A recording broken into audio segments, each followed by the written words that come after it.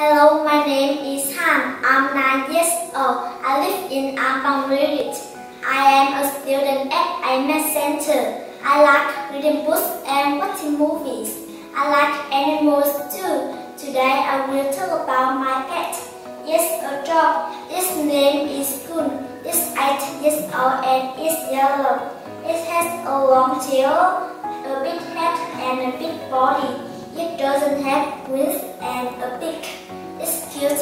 very smart. It is special to me because it is my best friend. Every day when I come back home from school, it runs out quickly and waits till to greet me. Keeping a pet is not easy, but I think I learn a lot from looking after it. I feed my pet every day and I keep my